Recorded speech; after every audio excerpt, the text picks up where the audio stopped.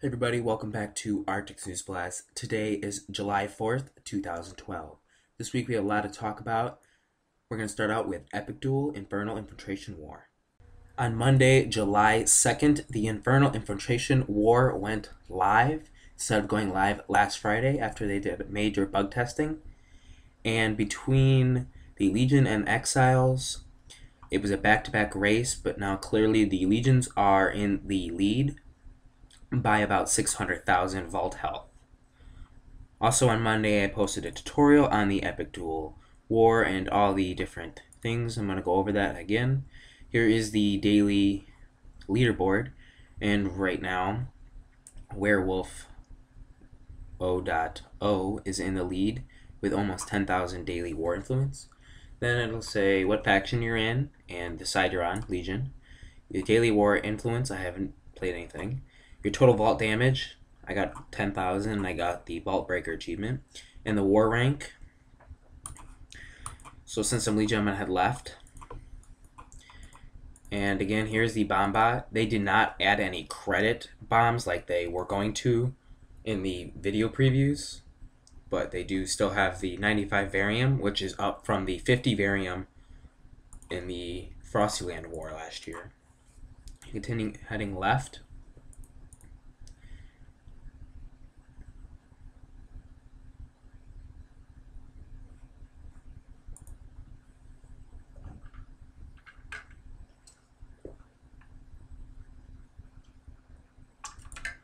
and then you head up and you'll be placed into a random battle. This week in Adventure Quest Worlds, they started looking into the issue of the load lag helm issue. The latest update 11.3.300.262 or 257, depending on what web browser you're using, caused many issues with the Adventure Quest Worlds loading and your character load they went around the game investigating it and they actually did come up with a fix. If you notice when you log in, the background is gone. That is to improve load time.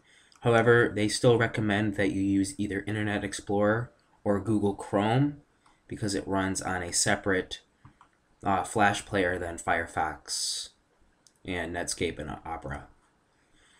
To check your latest version of Flash, you can go to aq.com slash play now, right click, and then it'll say about Adobe Flash Player, and then it'll say 11.3 or 11.2, so on. Yesterday, they released the Full Moon Shop, limited time shop, that will be in game probably till Friday or next Monday. With never before seen items, the first time they released the shop. And then the return of the Freedom Day seasonal rare shop. Also, this week, are you prepared for the Dage vs. Nulgath War? Part 1. Next week is Friday the 13th, and then more Chronospan Chaos. To help figure out what side you want to be in the war, you can read the design notes they posted a few days ago. Dage the Evil is a dark lord of the Undead Legion. Once a powerful mad necromancer, Dage signed Nulgath's contracts and rode the fast lane to even more strength.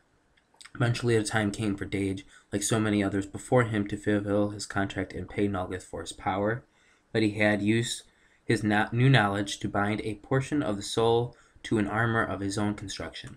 The remnant lives on and remains all the knowledge and strength of his previous life. Now the Evil rivals Nulgath himself in evil power. Nulgath is an abyss general. Through the ages, Nulgath has taken many forms and been known as many names. Recently, however, it was revealed that each of the previous forms were merely larval stages of the Diabolic evolution into his current malevolent form. You don't know, Nulgath used to be known as Millennius.